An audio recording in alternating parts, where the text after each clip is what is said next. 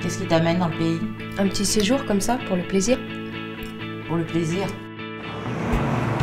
Je vais pas tergiverser, je suis là parce que on recherche le père de Lolo. Mais écoute bien, j'ai fait des calculs.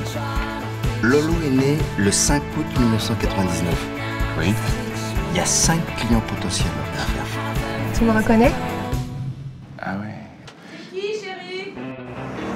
Voilà, on va être sortis ensemble. T'es une petite amourette d'écolier, c'est ça J'étais que physique. C'est qui cette morue là Alors chérie, présente-toi calmement. Ok. En fait, il n'y en a pas un qui est normal hein, dans la liste. Qu'est-ce que ça veut dire normal? Rien du tout. Je te le dis toujours. J'en reviens pas que tu sois la fille de Silo.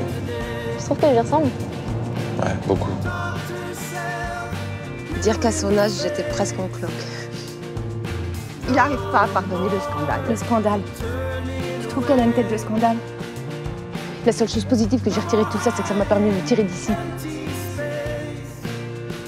Je suis là comme j'étais amoureuse de toi à l'époque.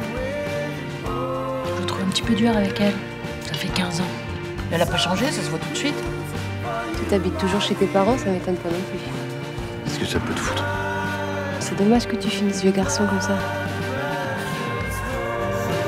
Connaître le père de ta fille.